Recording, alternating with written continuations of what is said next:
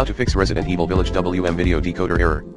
To fix Resident Evil Village WM video decoder error try, 1. Search then run the installer message.exe on your computer.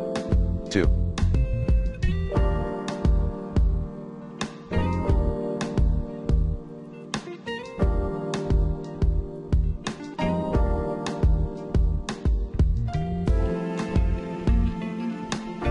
Install the Windows Media Player as the required feature to play Resident Evil Village on your Windows.